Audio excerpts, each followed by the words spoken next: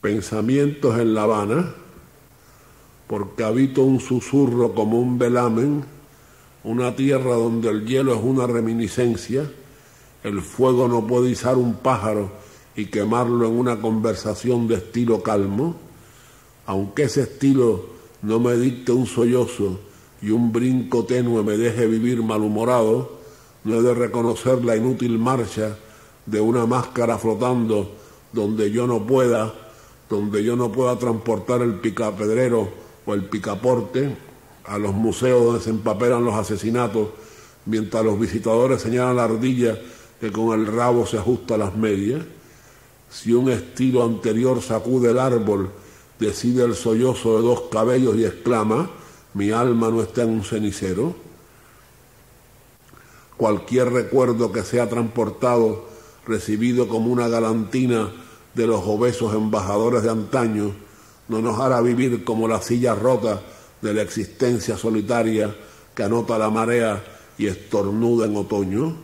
y el tamaño de una carcajada rota por decir que sus recuerdos están recordados y sus estilos los fragmentos de una serpiente que queremos soldar sin preocuparnos de la intensidad de sus ojos, si alguien nos recuerda que nuestros estilos están ya recordados, que por nuestras narices no escogita un aire sutil, sino que el eolo de las fuentes elaboradas por los que decidieron que el ser habitase en el hombre sin que ninguno de nosotros dejase caer la saliva de una decisión bailable, aunque presumimos como los demás hombres que nuestras narices lanzan un aire sutil, como sueñan humillarnos, repitiendo día y noche con el ritmo de la tortuga que oculta el tiempo en su espaldar, ustedes no decidieron que el ser habitase en el hombre, vuestro Dios es la luna, contemplando como una balaustrada al ser entrando en el hombre, como quieren humillarnos le decimos, el jefe de la tribu descendió la escalinata. Ellos tienen unas vitrinas y usan unos zapatos. En esas vitrinas alternan el maniquí con el quebrantahuesos disecado y todo lo que ha pasado por la frente del hastío del búfalo solitario. Si no miramos la vitrina, charlan de nuestra insuficiente desnudez que no vale una estatuilla de Nápoles. Si la atravesamos y no rompemos los cristales, nos subrayan con gracia que nuestro hastío puede quebrar el fuego y nos hablan del modelo viviente y de la parábola del quebrantahueso, ellos que cargan con sus maniquíes a todos los puertos y que hunden en sus baúles un chirriar de vulturidas disecadas, ellos no quieren saber que trepamos por las raíces húmedas del helecho, donde hay dos hombres frente a una mesa, a la derecha la jarra y el pan acariciado, y aunque mastiquemos su estilo, yo no escojo mis zapatos en una vitrina. El caballo relincha cuando hay un bulto que se interpone como un buey de peluche, que impide que el río le pegue en el costado y se bese con las espuelas regaladas por una sonrosada adúltera neoyorquina. El caballo no relincha de noche, los cristales que exhala por su nariz una escarcha tibia de papel la digestión de las espuelas después de recorrer sus músculos encristalados por un sudor de sartén, el buey de peluche y el caballo oyen el violín, pero el fruto no cae, reventado en su lomo frotado con un almíbar que no es nunca el alquitrán.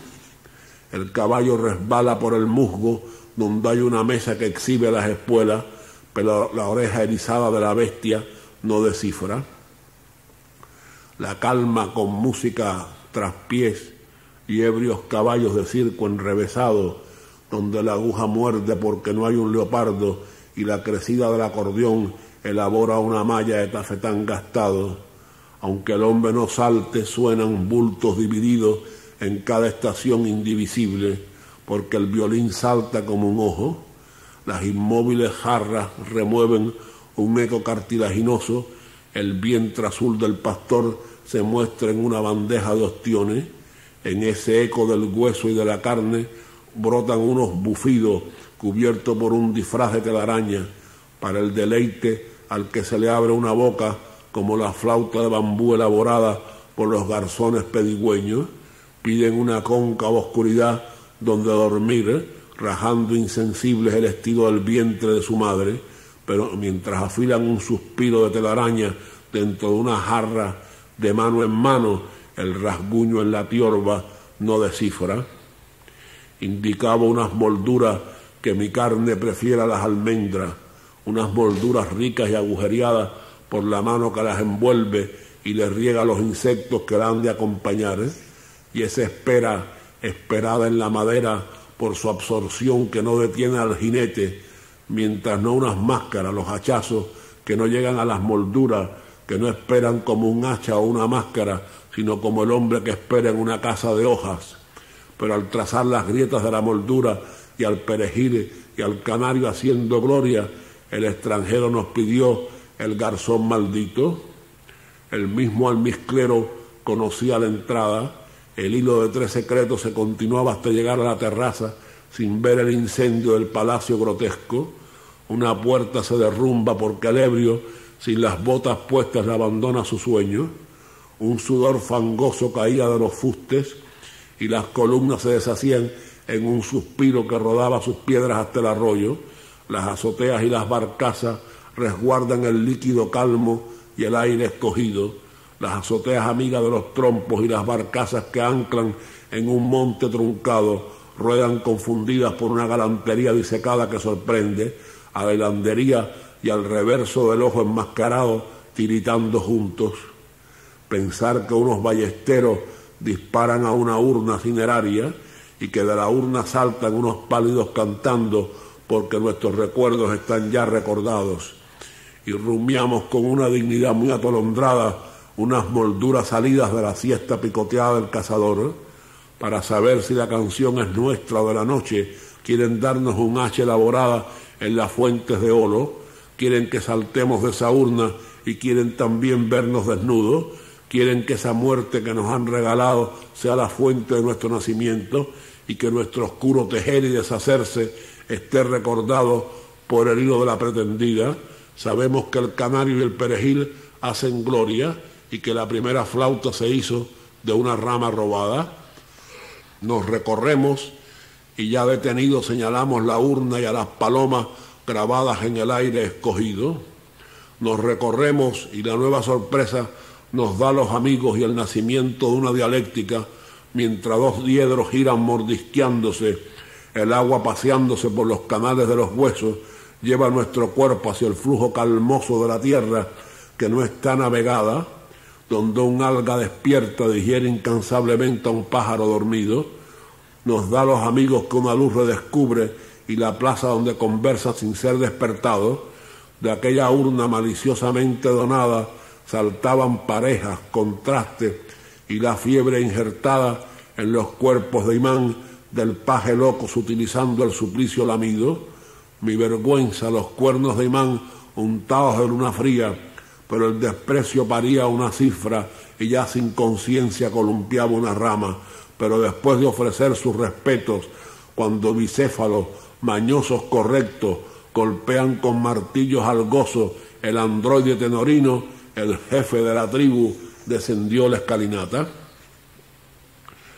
Los avalorios que nos han regalado han fortalecido nuestra propia miseria, pero como nos sabemos desnudos, el ser se posará en nuestros pasos cruzados. Y mientras nos pintarrajeaban para que saltásemos de la urna cineraria, sabíamos que como siempre el viento rizaba las aguas y unos pasos seguían con fruición nuestra propia miseria los pasos huían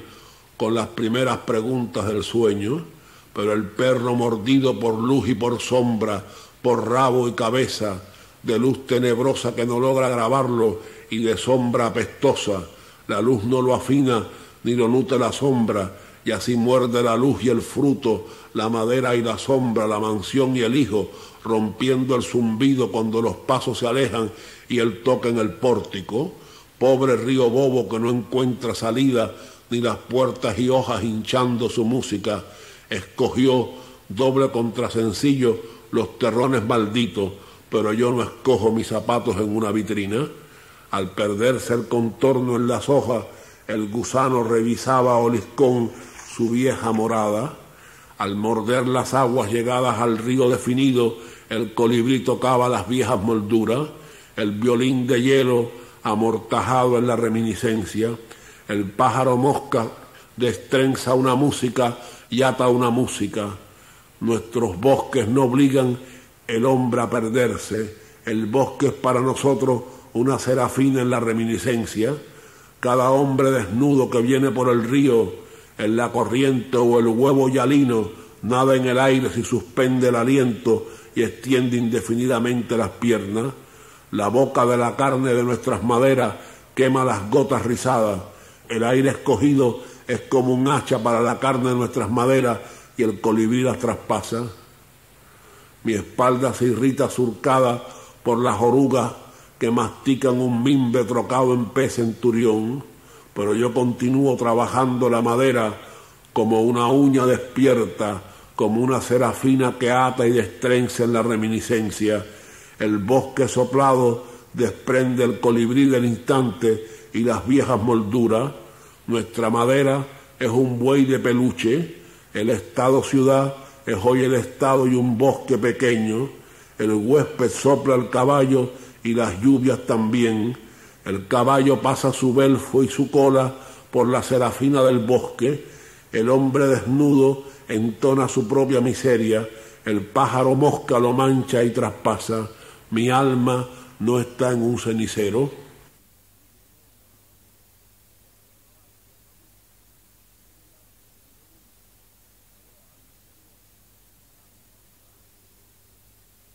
Cuando llegó el momento de su centenario,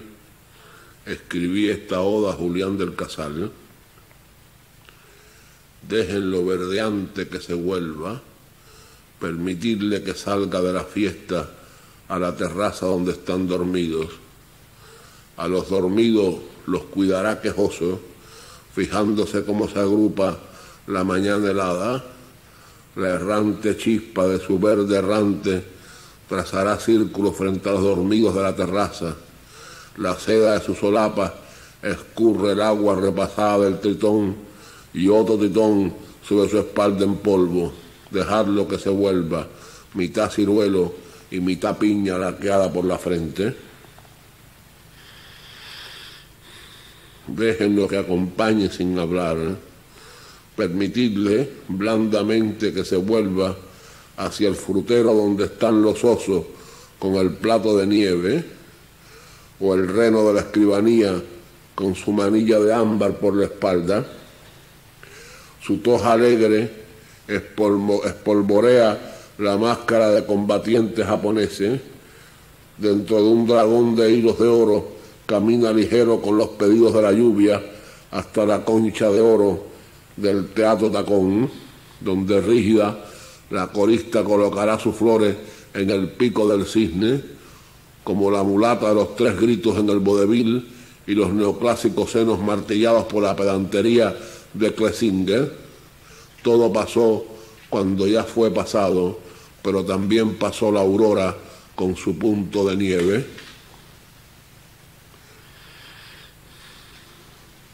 Si lo tocan, chirrían sus arenas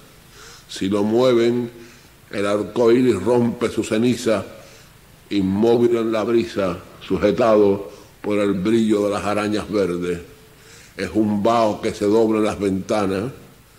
trae la carta funeral del ópalo, trae el pañuelo de opoponax y agua quejumbrosa a la visita sin sentarse apenas, con muchos quédese, quédese, que se acercan para llorar en su sonido como los sillones de mimbre de las ruinas del ingenio, en cuyas ruinas se quedó para siempre el ancla de su infantil chaqueta marinera? Pregunta y no espera la respuesta. Lo tiran de la manga con trifolias de ceniza. Están frías las jornadas florecillas. Frías están sus manos que no acaban. Aprieta las manos con sus manos frías.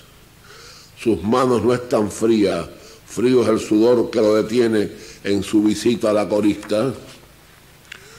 Le entrega las flores y el maniquí se rompe en las baldosas rotas del acantilado. Sus manos frías avivan las arañas ebrias que van a deglutir el maniquí playero. Cuidado, sus manos pueden avivar la araña fría y el maniquí de las coristas. Cuidado, él sigue oyendo cómo evapora la propia tierra maternal con paz para el espacio coralino. Su tos alegre sigue ordenando el ritmo de nuestra crecida vegetal al extenderse dormido.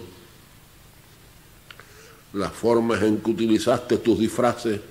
hubieran logrado influenciar a Baudelaire. El espejo unió a la condesa de Fernandina con Napoleón III. No te arrancó las mismas flores que le llevaste a la corista, pues allí viste el alef negro en lo alto del surtidor. Cronista de la boda de luna de copas con la sota de bastos, tuviste que brindar con champán gelé por los sudores fríos de tu medianoche de agonizante, los dormidos en la terraza, que tú tan solo los tocabas quejumbrosamente, escupían sobre el tazón que tú le llevabas a los cisnes, no respetaban que tú le habías encristalado la terraza y llevado el menguante de la liebre al espejo, tus disfraces como el almirante samurái que tapó la escuadra enemiga con un abanico, o el monje que no sabe qué espera en el escorial, hubieran producido otro escalofrío en Baudelaire. Sus sombríos rasguños, hexagramas chinos en tu sangre, se igualaban con la influencia que tu vida hubiera dejado en Baudelaire, como lograste alucinar al sileno con ojos de sapo y diamante frontal. Los fantasmas resinosos, los gatos que dormían en el bolsillo de tu chaleco estrellado, se embriagaban con tus ojos verdes. Desde entonces el mayor gato, el peligroso genuflexo, no ha vuelto a ser acariciado. Cuando el gato termine la madeja,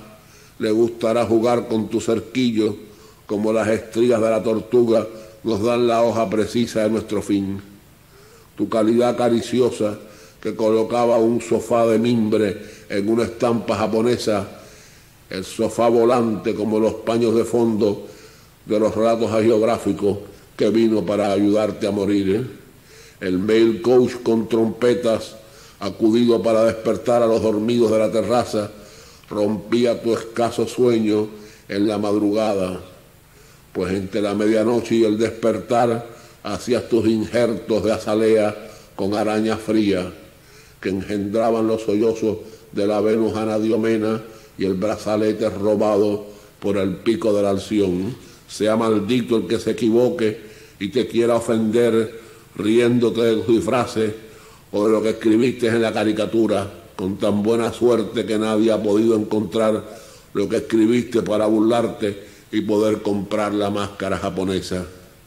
como se deben haber reído los ángeles cuando saludabas estupefacto a la marquesa por la vieja que avanzaba hacia ti para palmearte frente al espejo. ¡Qué horror! Debes haber soltado un lagarto sobre la trifolia de una taza de té. Haces después de muerto las mismas iniciales, ahora en el mojado escudo de cobre de la noche que comprobaban al tacto la trigueñita de los doce años y el padre enloquecido colgado de un árbol. Sigues trazando círculos en torno a los que se pasean por la terraza, la chispa errante de tu errante verde.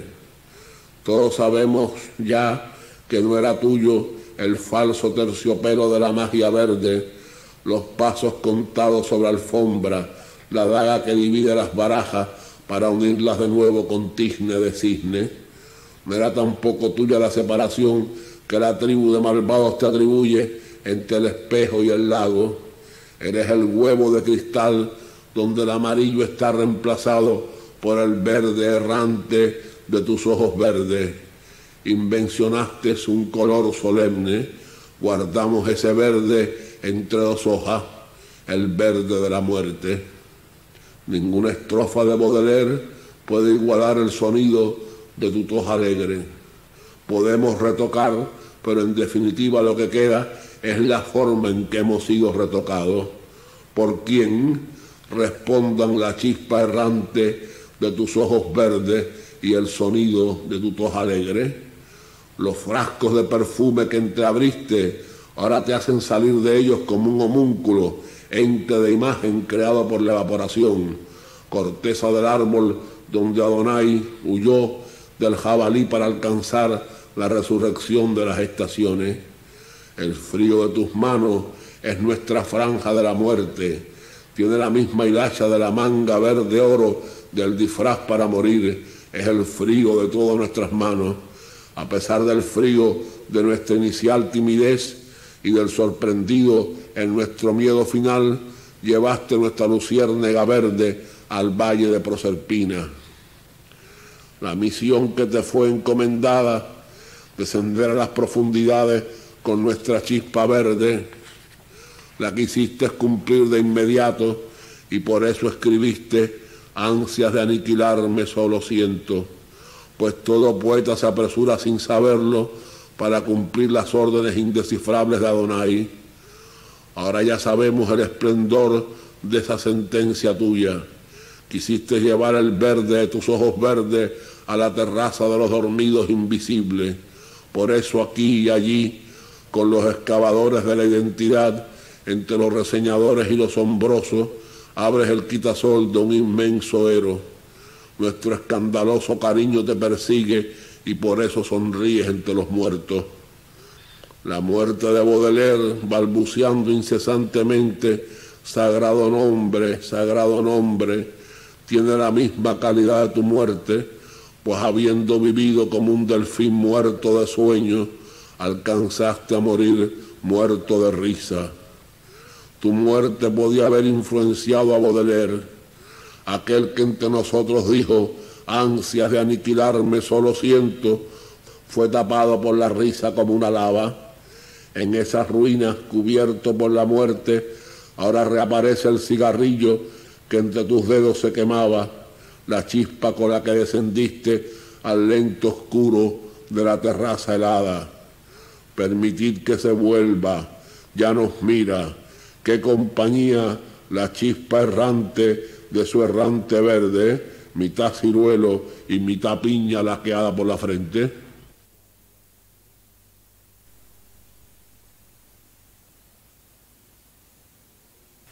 Danae teje el tiempo dorado por el Nilo, envolviendo los labios que pasaban entre labios y vuelos desligados la mano o el labio o el pájaro nevaban. Era el círculo en nieve que se abría. Mano era sin sangre, la seda que borraba, la perfección que muere de rodillas y en su celo se esconde y se divierte.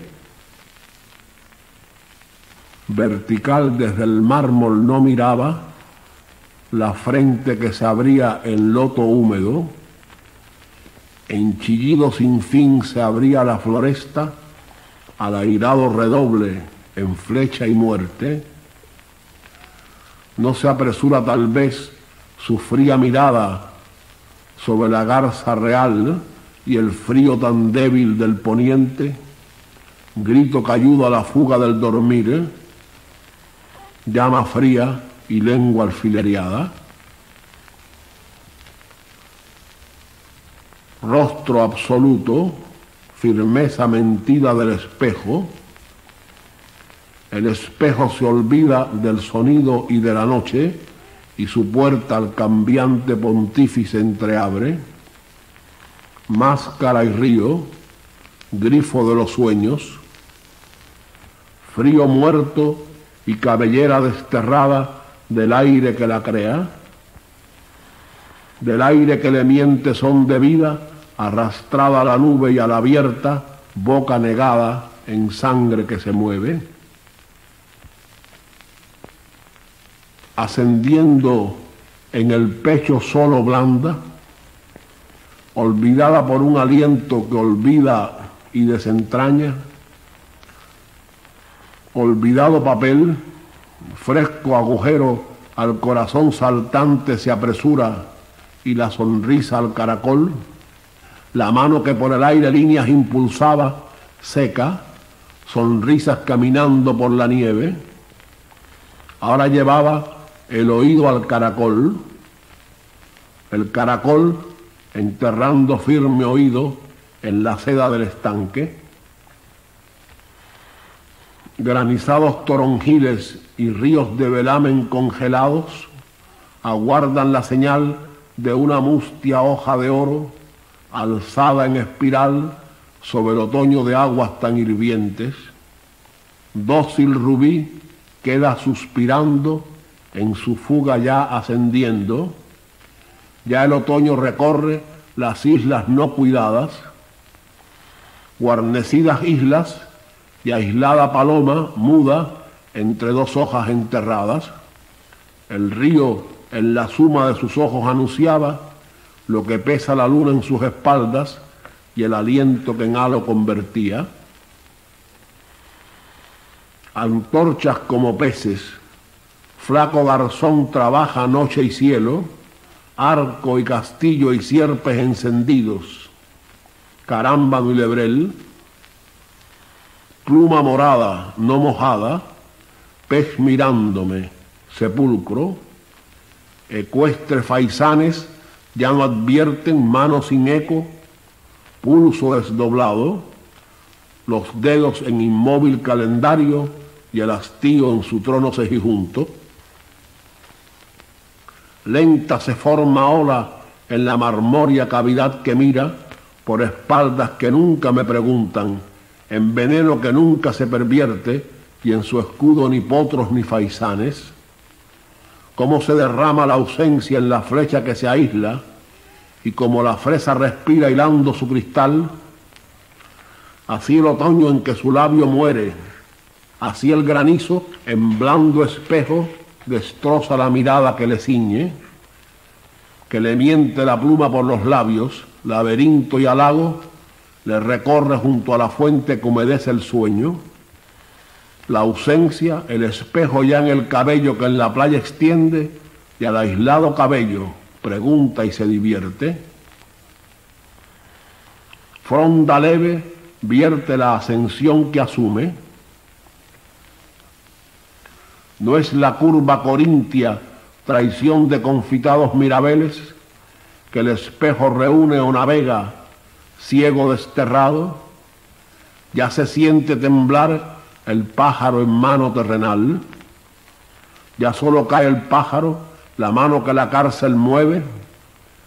los dioses hundidos entre la piedra, el carbunco y la doncella. Si la ausencia pregunta con la nieve desmayada, forma en la pluma no círculos que la pulpa abandona sumergida. Triste recorre, curva ceñida en ceniciento airón, el espacio que manos desalojan, timbre ausente y avivado azafrán,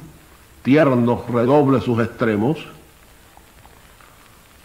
convocados se agitan los durmientes, fruncen las olas, batiendo en torno de ajedrez dormido, su insepulta tiara,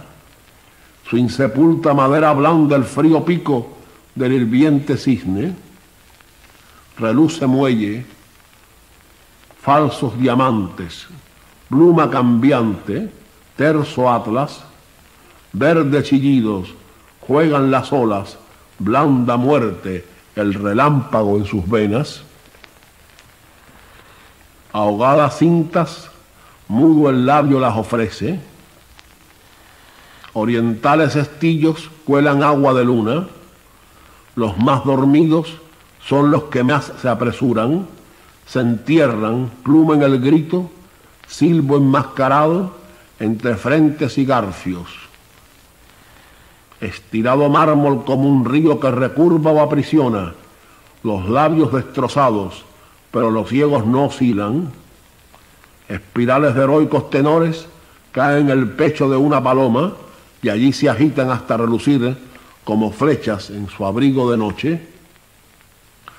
Una flecha destaca, una espalda se ausenta, relámpago es violeta hacia alfiler en la nieve y terco rostro, tierra húmeda ascendiendo hasta el rostro, flecha cerrada, polvos de luna y húmeda tierra, el perfil desgajado en la nube que es espejo, fresca las balbas de la noche y límite airado de las conchas, en su cárcel sin sed se destacan los brazos, no preguntan corales en estrías de abejas y en secretos confusos despiertan recordando curvos brazos y engaste de la frente. Desde ayer las preguntas se divierten o se cierran al impulso de frutos polvorosos o de islas donde acampan los tesoros que la rabia esparce, adula o reconviene. Los donceles trabajan en las nueces y el surtidor de frente a su sonido, en la llama fabrica sus raíces y su mansión de gritos soterrados. Si se aleja, recta abeja, el espejo destroza el río mudo. Si se hunde, media sirena al fuego, las hilachas que surcan el invierno tejen blanco cuerpo en preguntas de estatua polvorienta. Cuerpo del sonido, el enjambre que mudos pinos claman, despertando el oleaje en lisas llamaradas y vuelos sosegados, guiados por la paloma que sin ojo chilla, que sin clavel la frente espejo es de ondas, no recuerdos. Van reuniendo en ojos, hilando en el clavel no siempre ardido, el abismo de nieve alquitarada o gimiendo en el cielo apuntalado. Los corceles y nieves y cobre, guiados por miradas, la súplica destilan o más firmes recurvan a la mudez primera, ya sin cielo. La nieve que en los cistros no penetra, arguye en hojas, recta destroza vidrio en el oído, nidos blancos en su centro ya encienden tibio los corales, huidos los donceles en sus ciervos de hastío, en sus bosques rosados, convierten, si coral y doncel, rizo las voces, nieve los caminos, donde el cuerpo sonoro se mece con los pinos, delgado cabecea, más esforzado pino, ya columna de humo tan aguado, que canario es su aguja y surtidor en viento desrizado. Narciso, narciso, las astas del ciervo asesinado son peces, son llamas, son flautas, son dedos mordisqueados. Narciso, narciso, los cabellos guiando florentinos reptan perfiles, labios sus rutas, llamas tristes las olas mordiendo sus caderas. Pez del frío verde, el aire en el espejo sin estrías. Racimo de palomas ocultas en la garganta muerta, hija de la flecha y de los cisnes. Garza divaga, concha en la ola, nube en el desgaire, espuma colgaba de los ojos, gota marmoria y dulce plinto no ofreciendo, chillidos frutados en la nieve, el secreto en geranio convertido, la blancura seda es ascendiendo, el labio derramada, abre un olvido en las islas, espadas y pestañas vienen a entregar el sueño, a rendir espejo el litoral de tierra y roca impura, húmedos labios, no en la concha que busca recto hilo, esclavos del perfil y del velamen, secos el aire muerden, al tornasol que cambia su sonido en rubio tornasol de cal salada, busquen los rubios espejo de la muerte, concha del sonido. Si atraviesa el espejo, hierven las aguas que agitan el oído, si se sienta en su borde o en su frente, el centurión pulsa en su costado, si declama, penetran en la mirada y se fruncen las letras en el sueño, ola de aire envuelve secreto albino, piel arponeada, que coloreado espejo, sombra es del recuerdo y minuto del silencio, ya traspasa blancura recto sin fin en llamas secas y hojas lloviznadas, chorro de abejas increadas muerden la estela, pídenle el costado,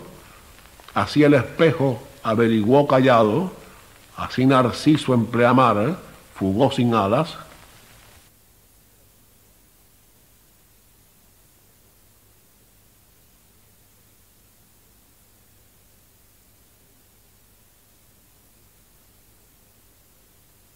Sonetos a la Virgen de Ípara, paridora de Dios, suave la jiba del engañado para ser, tuvo que aislar el trigo del ave, el ave de la flor, no ser del querer, el molino de Ípara, ser el que acabe la mala crianza del ser que es el romper, retuércese la sombra, nadie alabe la fealdad, jiba o millón de su poder, oye, Tú no quieres crear sin ser medida, inmóvil, dormida y despertada. Oíste espiga y sistro el ángel que sonaba, la nieve en el bosque extendida, eternidad en el costado sentiste, pues dormías la estrella que gritaba. Sin romper el sello de semejanza, como en el hueco de la torre nube se cruza con la bienaventuranza. Oh fiel y sueño del cristal que pule, su rocío el árbol de confianza, reverso del descreído, pues si sube su escala caracol o malandanza, pira gimiendo, palabra que huye, para caer de tu corona alzada, los ángeles permanecen o se esconden, ya que tú oíste a la luz causada por el cordero que la luz descorre, para ofrecer lo blanco a la nevada, para extender la nieve que recorre. Cautivo enredo, ronda tu costado, pluma nevada hiriendo la garganta, breve trono y su instante destronado tiemblan al silbo si suave se levanta, más que sombra que infante desvelado, la armadura del cielo que nos canta su aria sin sonido, su son deslavazado, maraña ilusa contra el viento anda, lento se cae el paredón del sueño, dulce costumbre de este incierto paso, grita y se destruyen sus escalas, y el viento navega a nuevo vaso y sombras buscan deseado dueño, y si al morir no nos acuden alas, pero sí acudirás, allí te veo, ola tras ola, manto dominado, que viene a invitarme a lo que creo, mi paraíso y tu verbo el encarnado, en ramas de cerezo, buen recreo, o en cestillos de mimbre gobernado, en tan despierto tránsito lo feo se irá tornando en rostro del amado. El alfiler se bañará en la rosa, sueño será el aroma y su sentido, activo el aire que al jinete mueve, el árbol bajará, dicción hermosa, la muerte dejará de ser sonido, tu sombra hará la eternidad más breve.